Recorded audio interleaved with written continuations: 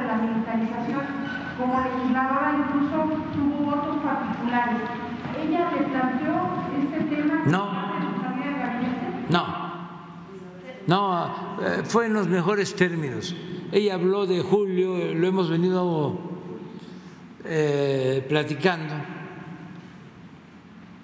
Sí, habló de Julio, ¿no? En la carta. Pues es julio, agosto, septiembre.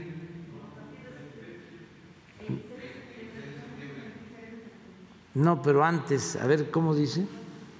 Sí, es que ya eh, de tiempo atrás hemos venido hablando del tema.